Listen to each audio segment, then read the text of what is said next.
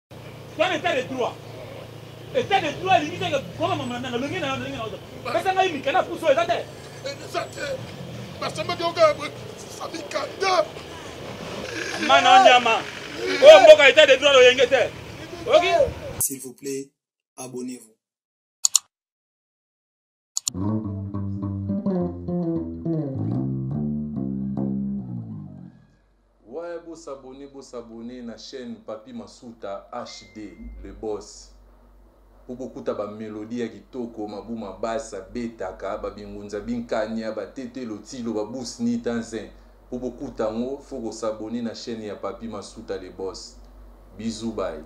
Bana poto partout dans le monde babi biso nyonso na papi masuta hd babi bosabone massivement bomona biloko ya bien baémission kitoko babi émission ya réflexion epa e mokibe donc bino nyonso bosabone massive nabengi bana poto bafani nyonso ya la femme du patron lofita bijou donc soki bolingi bomona biloko ya kitoko na papi masuta HD dans bomona ba théâtre bien ba gag ya kitoko ba mission kitoko ba, ba artiste na ba acteur oyo bolingaka oyo bopreferaka bo s'abonner massivement bayo papi mashuta HD TV awa na papi mashuta HD TV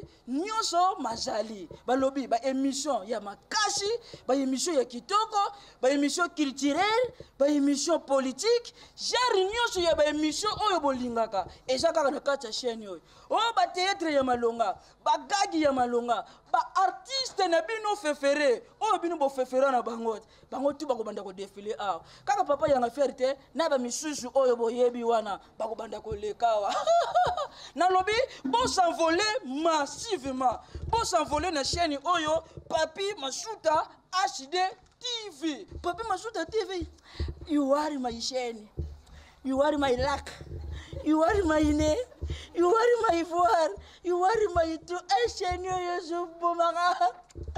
pas trop papi, On est là. Il y a des chaînes, j'ai dit bien, il y a des chaînes. Mais il faut chercher quelle chaîne Il faut chercher une chaîne de qualité, une chaîne de savoir-faire, une chaîne supérieure. Maintenant, on a cette chaîne là papi masuta hd j'ai dit bien papi masuta hd abonnez-vous moi alain je suis déjà là babiloko nyonso ya kitoko ya qualité ya bien bateledramatique ya bien bagag ya bien bemission sociaux culturel ya bien mais on a encore une grande émission de réflexion réflexion plus mais ce otali moto aza représenté Mission. une grande dame très intelligente m kib moi je l'appelle m kib voilà abonnez-vous massivement je dis bien massivement Luca, luka luka luka te Zapé, zape T. papi masuta hd nde makambo kitoko s'il vous plaît abonnez-vous njela leta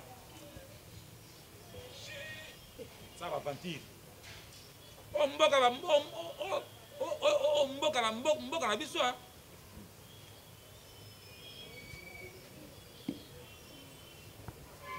tolika 50 pirose excuse sepe na yo oleki sepe na yo te opesi mbongo na yo apa leka noki leka noki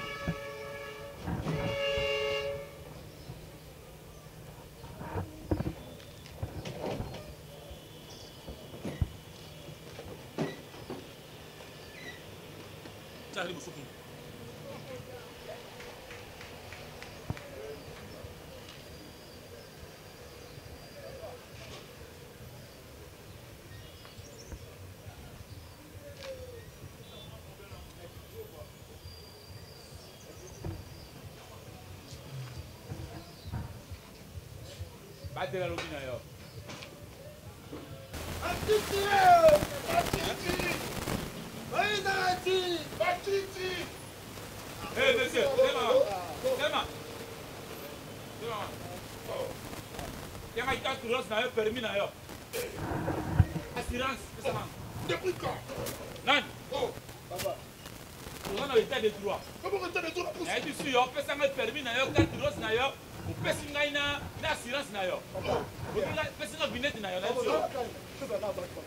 omona wapi bapesa permis de conduite basika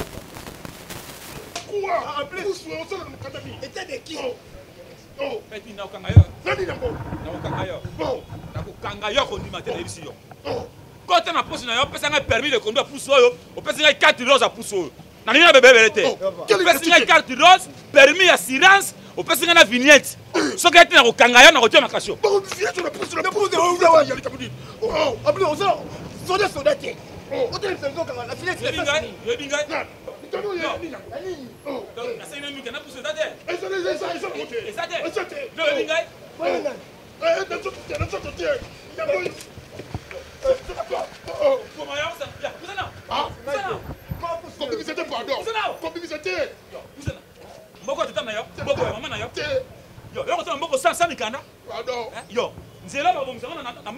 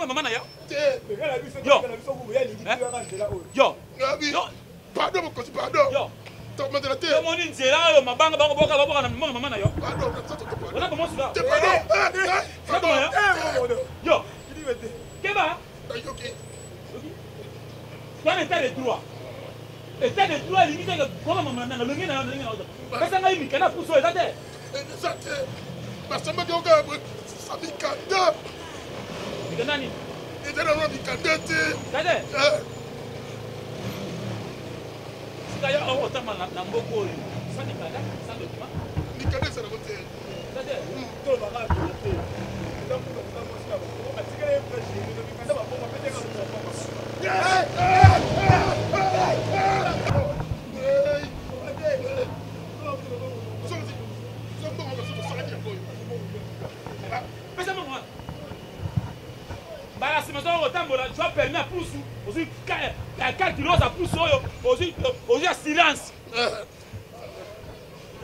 yo natebisi bino lala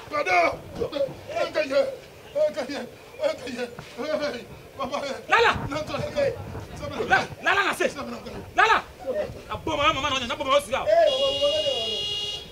sobanya mama na nyama oyo mboka etat de droit loyenge te oyoki soto bafanti leka kuna etat de droit